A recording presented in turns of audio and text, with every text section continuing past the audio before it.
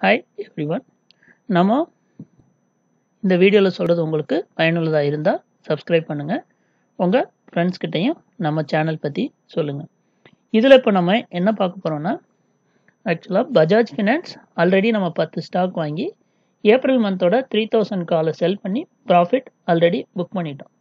So இப்போவும் அதே தான் பண்ண போகிறோம் பஜாஜ் ஃபினான்ஸு பத்து ஸ்டாக் வந்து அரௌண்ட் டூ ஒன் செவன் ஜீரோலேருந்து டூ ஒன் எயிட் ஜீரோக்குள்ளே வாங்கிட்டு பட் இந்த டைம் வந்து May மந்தோட three thousand call thirty eight thirty செவன்லேருந்து thirty எயிட்டுக்குள்ளே ட்ரேட் ஆகிட்டு இருக்கு.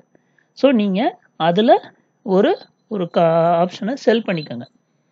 ஸோ இப்போ நம்ம லாஸ்ட் டைம் மாதிரியே தான்.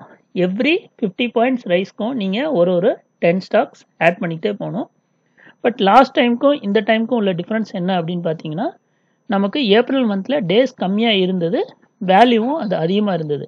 பட் இந்த டைம் மே மந்த்ன்றதுனால நமக்கு நம்பர் ஆஃப் டேஸ் அதிகமாக இருக்குது ஸோ நீங்கள் எவ்ரி டே கிளியராக வாட்ச் பண்ணணும். எவ்ரி மூவ்க்கும் நீங்கள் ஆட் பண்ணிக்கிட்டே இருக்கணும். கீழே போச்சு அப்படின்னா நமக்கு பிரச்சனை இல்லை.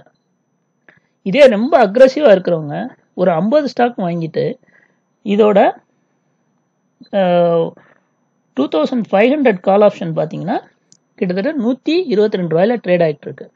அதோட ஒர்த்து பார்த்தீங்கன்னா கிட்டத்தட்ட தேர்ட்டி தௌசண்ட் ஸோ நீங்கள் எவ்ரி ஃபிஃப்டி ஸ்டா பாயிண்ட்ஸ் மூமெண்ட்டுக்கு ஒரு ஃபிஃப்டி ஸ்டாக்கு ஆட் பண்ணணும்.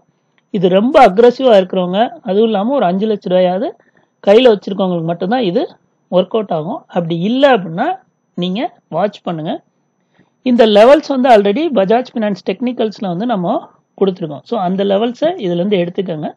ஸோ எவ்ரி அப் மூவ்க்கு வந்து நீங்கள் ஆட் பண்ணிக்கிட்டு போங்க. ஸோ இது எப்படி ஒர்க் அவுட் ஆகுதுன்னு இல்லை பேப்பர் ட்ரைனிங் பார்த்துட்டு எனக்கு கமெண்ட்டில் சொல்லுங்கள் தேங்க்யூ ப்ளீஸ் சப்ஸ்கிரைப் இது உங்களுக்கு பிடிச்சிருந்ததுன்னா.